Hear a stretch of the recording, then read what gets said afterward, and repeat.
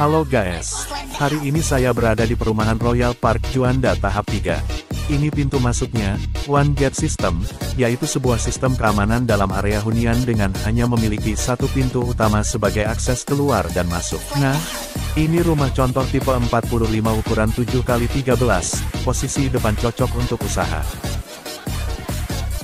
Garasi dan halaman depan cukup luas dan free tandon bawah tanah.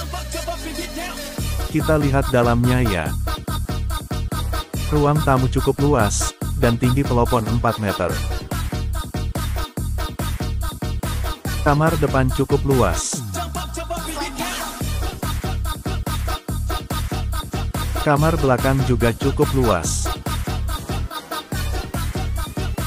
Kamar mandi minimalis dan mewah free closet duduk.